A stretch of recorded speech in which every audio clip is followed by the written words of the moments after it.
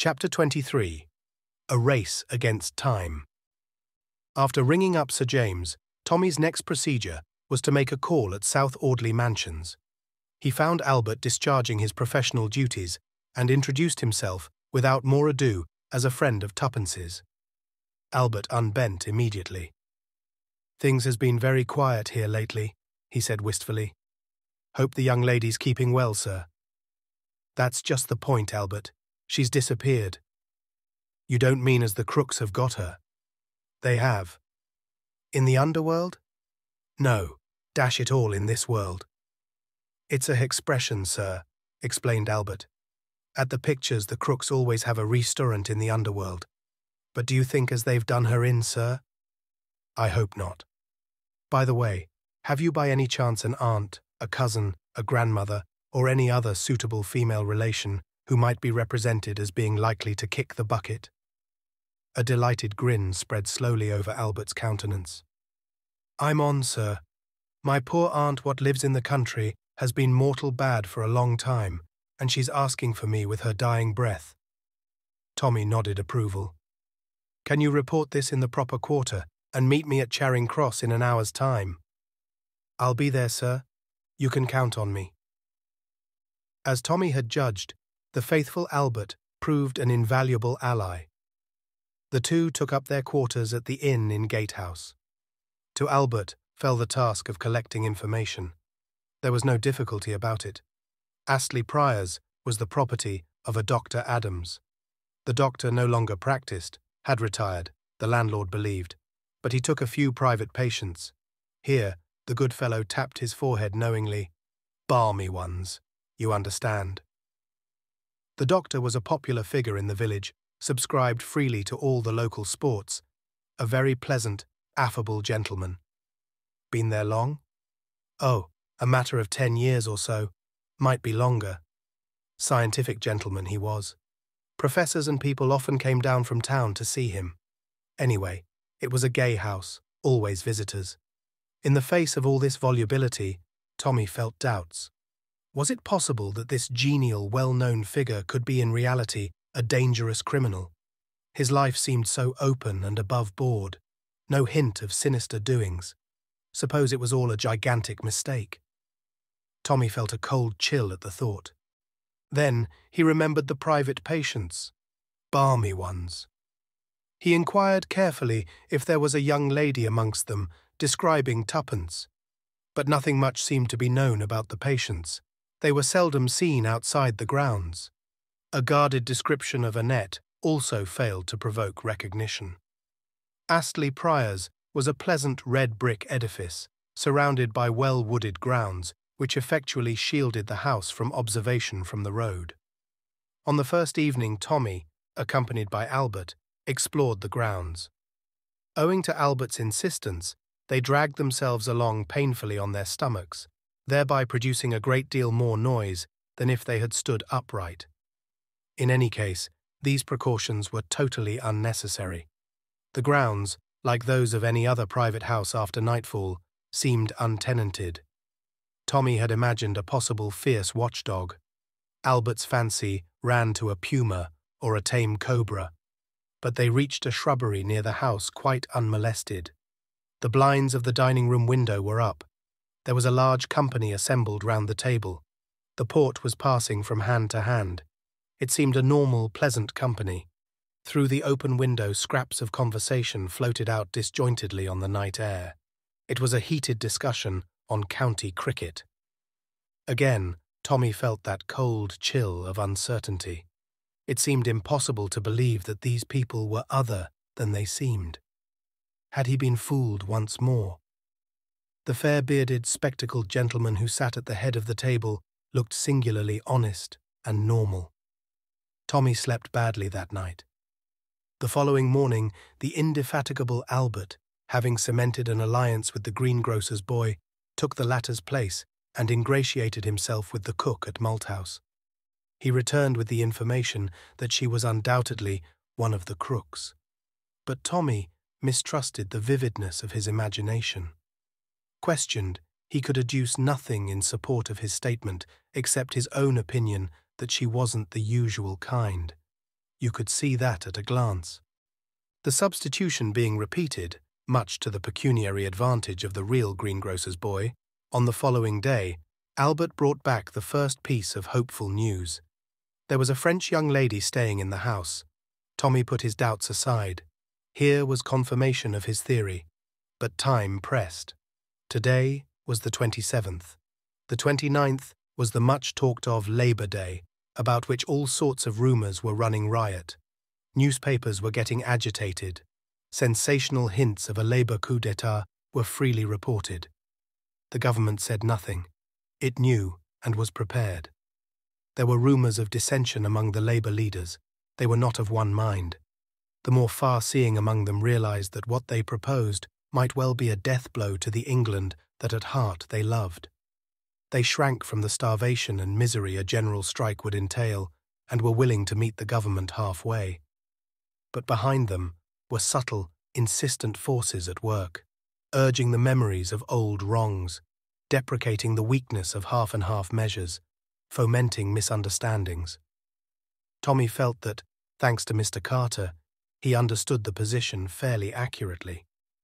With the fatal document in the hands of Mr. Brown, public opinion would swing to the side of the Labour extremists and revolutionists. Failing that, the battle was an even chance.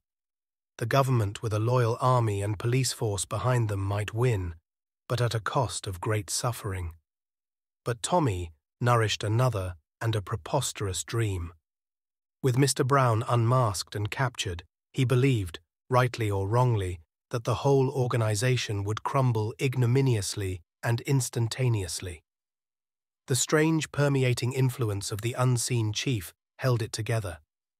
Without him, Tommy believed an instant panic would set in, and, the honest men left to themselves, an eleventh hour reconciliation would be possible.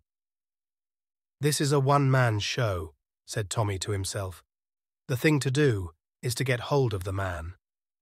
It was partly in furtherance of this ambitious design that he had requested Mr. Carter not to open the sealed envelope. The draft treaty was Tommy's bait. Every now and then he was aghast at his own presumption. How dared he think that he had discovered what so many wiser and clever men had overlooked. Nevertheless, he stuck tenaciously to his idea.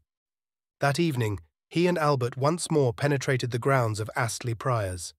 Tommy's ambition was somehow or other to gain admission to the house itself. As they approached cautiously, Tommy gave a sudden gasp. On the second floor window, someone standing between the window and the light in the room threw a silhouette on the blind. It was one Tommy would have recognized anywhere. Tuppence was in that house. He clutched Albert by the shoulder. Stay here. When I begin to sing, watch that window. He retreated hastily to a position on the main drive and began in a deep roar, coupled with an unsteady gait, the following ditty I am a soldier, a jolly British soldier. You can see that I'm a soldier by my feet. It had been a favourite on the gramophone in Tuppence's hospital days. He did not doubt but that she would recognise it and draw her own conclusions. Tommy had not a note of music in his voice, but his lungs were excellent. The noise he produced was terrific. Presently, an unimpeachable butler, accompanied by an equally unimpeachable footman, issued from the front door. The butler remonstrated with him. Tommy continued to sing, addressing the butler affectionately as Dear Old Whiskers. The footman took him by one arm, the butler by the other. They ran him down the drive and neatly out of the gate. The butler threatened him with the police if he intruded again. It was beautifully done, soberly, and with perfect decorum. Anyone would have sworn that the butler was a real butler, the footman a real footman, only, as it happened, the butler was Whittington. Tommy retired to the inn and waited for Albert's return. At last, that worthy made his appearance. Well, cried Tommy eagerly, it's all right. While there was a running of you out the window opened, and something was chucked out. He handed a scrap of paper to Tommy.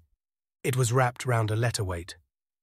On the paper were scrawled three words Tomorrow, same time. Good egg, cried Tommy. We're getting going. I wrote a message on a piece of paper, wrapped it round a stone, and chucked it through the window, continued Albert breathlessly. Tommy groaned. Your zeal will be the undoing of us, Albert. What did you say? Said we was a staying at the inn. If she could get away, to come there and croak like a frog. She'll know that's you, said Tommy with a sigh of relief. Your imagination runs away with you, you know, Albert. Why, you wouldn't recognize a frog croaking if you heard it. Albert looked rather crestfallen. Cheer up, said Tommy. No harm done. That butler's an old friend of mine. I bet he knew who I was, though he didn't let on. It's not their game to show suspicion. That's why we've found it fairly plain sailing. They don't want to discourage me altogether. On the other hand, they don't want to make it too easy. I'm a pawn in their game, Albert. That's what I am. You see, if the spider lets the fly walk out too easily, the fly might suspect it was a put up job. Hence the usefulness of that promising youth, Mr. T. Beresford, who's blundered in just at the right moment for them. But later, Mr. T. Beresford had better look out.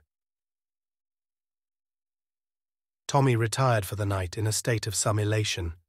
He had elaborated a careful plan for the following evening. He felt sure that the inhabitants of Astley Priors would not interfere with him up to a certain point. It was after that that Tommy proposed to give them a surprise. About twelve o'clock, however, his calm was rudely shaken. He was told that someone was demanding him in the bar. The applicant proved to be a rude-looking carter, well coated with mud. Well, my good fellow, what is it? asked Tommy. Might this be for you, sir? The carter held out a very dirty folded note, on the outside of which was written, Take this to the gentleman at the inn near Astley Priors. He will give you ten shillings. The handwriting was Tuppence's. Tommy appreciated her quick-wittedness in realizing that he might be staying at the inn under an assumed name. He snatched at it. That's all right. The man withheld it. What about my ten shillings? Tommy hastily produced a ten-shilling note and the man relinquished his find. Tommy unfastened it. Dear Tommy, I knew it was you last night. Don't go this evening. They'll be lying in wait for you. They're taking us away this morning. I heard something about Wales. Holyhead, I think. I'll drop this on the road if I get a chance. Annette told me how you'd escaped. Buck up. Yours, twopence.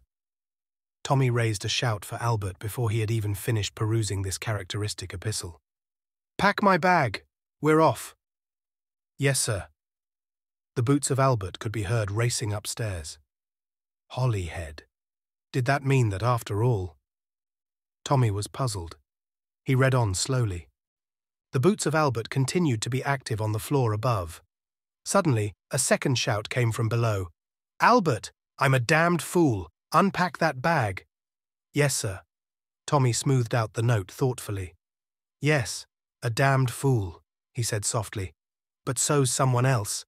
And at last I know who it is.